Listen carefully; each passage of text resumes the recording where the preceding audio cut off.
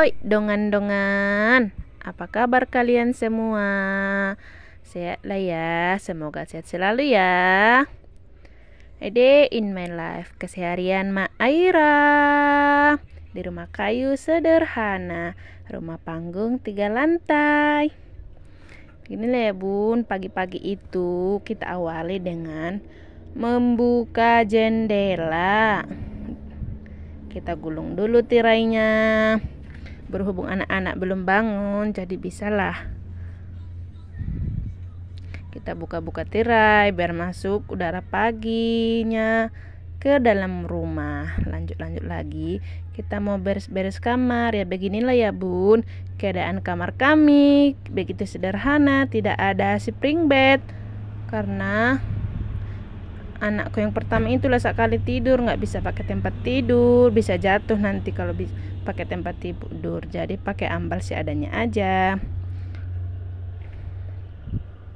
Lagi pun kalau misalkan masukkan si spring bed susah kali ya bun. Nggak muat pintu. Jadi pakai ambal gini aja lah. Yang nyamannya aja ya kan. Nyaman untuk anak nyaman untuk suami nyaman untuk istri nyaman untuk semua seisi rumah. Karena Mak Era juga nggak suka pakai spring bed. Kalau pakai spring bed badannya sakit lebih suka kayak gini ya. Bisa digulung bisa di dikembangkan juga. Bisa kalau digulung memperluas tempat si kakak main memperluas tempat kita untuk rebahan maupun yang lainnya.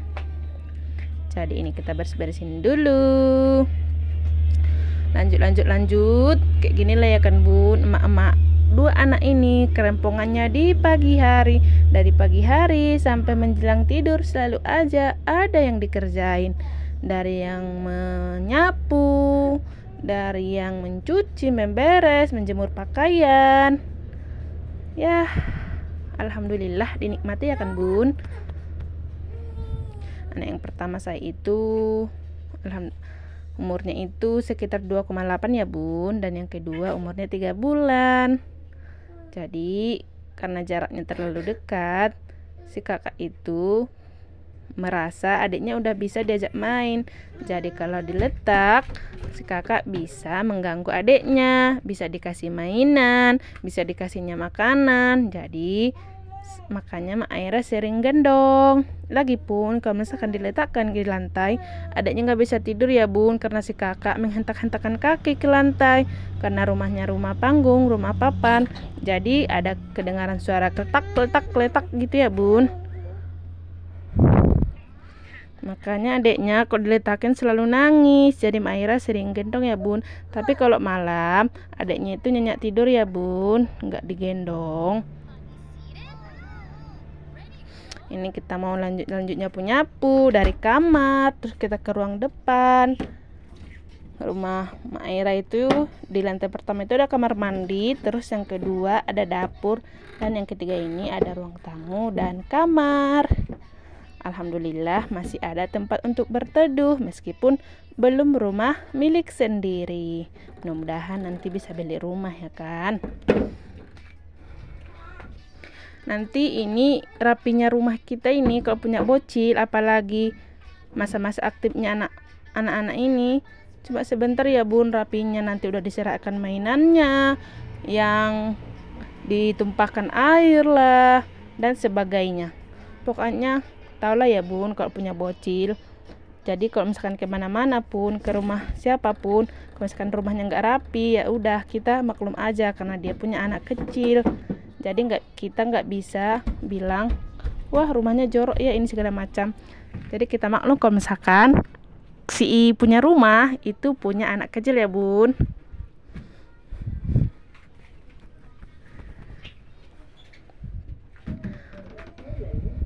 Meski berapa kali pun disapu tetap kayak mana ya tetap kotor ya bun. Karena bolak-balik naik turun si kakak pun kadang serain jadi kadang berpasir juga jadi sering-seringlah disapu.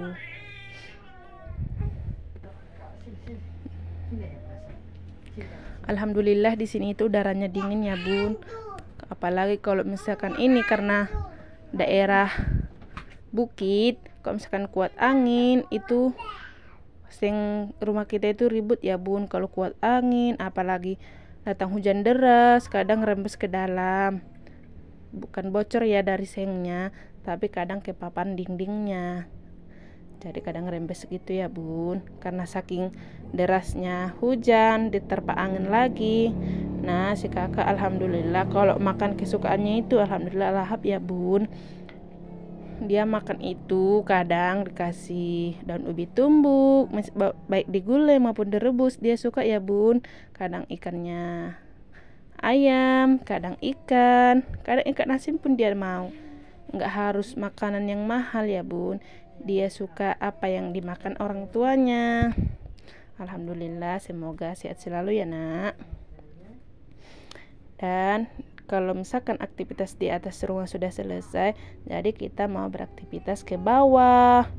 Beginilah naik turun tangga.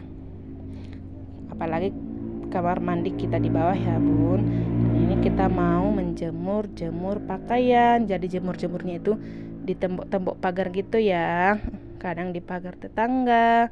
Itu udah izin ya sama pemiliknya. Jadi nggak langsung jemur-jemur gitu. Takutnya nanti si tetangga bete pula marah pula ya kan. Dibilanglah dalam hatinya punya tetangga kok macam gini kali nah itu ada tadi penampakan si orange kucing orange. Itu kucing tetangga. Jadi si kakak itu suka main sama kucingnya. Dikejar-kejarnya kucingnya kadang yang ayamnya lah. Kita tinggalnya itu di jal di jalan lalu lintas ya bun. Jalan lalu lintas antara Tapsel dan Tapanuli Utara jadi kita itu tinggal di pinggir jalan. Meskipun di pinggir jalan tapi alhamdulillah karena masih perkampungan gitu jadi nggak pala berisik kali. Jangan salpuk ya bun. Jemurannya kayak gini kadang ini takutnya jatuh ya kan apalagi gendong-gendong anak kayak gini. Ini gendongannya udah digulung-gulung gitu ya jadi nggak takut jatuh. Dan ini kalau Maera menjemur di sini itu nengok jalan. Takutnya jatuh nanti pula. Nggak nengok-nengok jalan jatuh pula ke sana kan.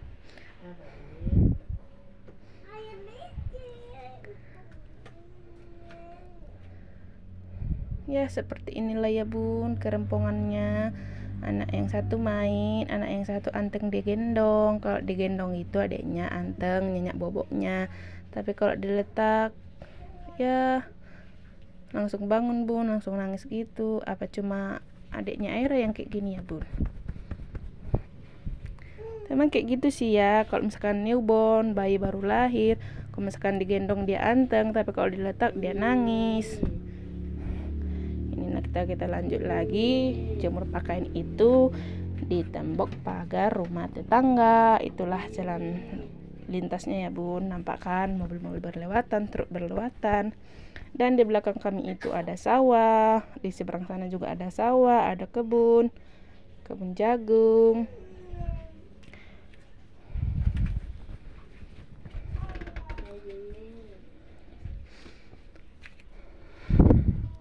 Ini anakku yang pertama itu selalu ribut sama tetangga. Bukan ribut karena nggak suka ya tapi karena diusilin gitu. Jadi dia ngomongnya agak ting agak teriak gitu sama uh, ibu yang samping ini. Aduh ya Allah jatuh pula anakku.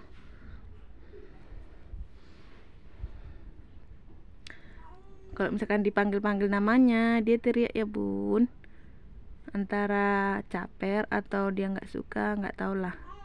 Pokoknya gitulah kok misalkan saya panggil tetangga